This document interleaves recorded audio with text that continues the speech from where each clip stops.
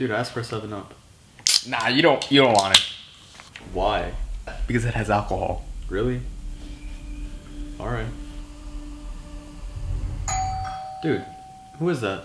Dude, I don't even know. Probably some trick or treaters. Uh, don't you think they'll be pissed that we're not giving out candy? Dude, my whole street has their lights off. Don't worry about it. It's not like someone's gonna break in. Alright. All right, I'm gonna get a drink. Do you need anything? Yeah, sure, get me a 7 Up. What did I say about 7 Up? I'm gonna tell your parents to drink 7 Up. Alright, I'm gonna go get you 7 Up.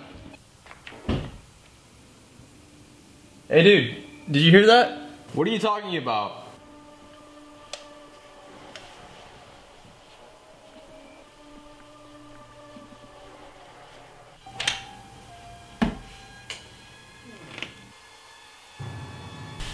Hey, Ahnaf, uh, do you got a dummy in this room? What dummy? There's a scream dummy next to all your sister's toys.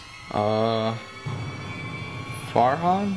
I don't have a scream costume.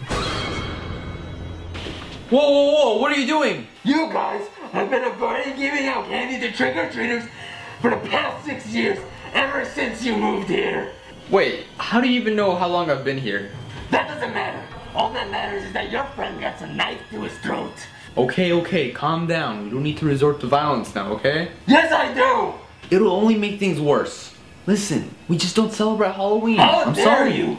How can you not celebrate Halloween? It's the happiest time of the year. Well, I mean, it's just for religious purposes, man. I don't understand. Well, sometimes you just don't have to understand other people's choices. But yeah, at least have to respect them.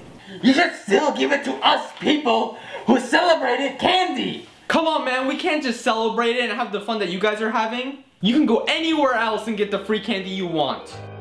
Is it really fair for us? Was it fair for the colonists to be taxed by the British? Was it fair for Rosa Parks to have to sit in the back of the bus every time she wanted to go somewhere?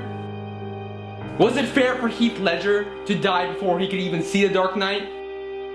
Was it fair, and is it fair, for any brown person to have to be checked extra hard when they go through airport security? And is it fair for me, for me to fail my chemistry exam?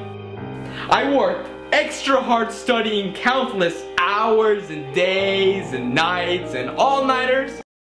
Okay, that's off, off the point. But anyways, my point is, it's just not fair.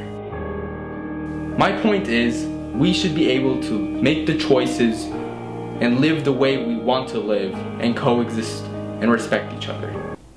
Where, where, where'd you guys go? Hey, you want some? Sure.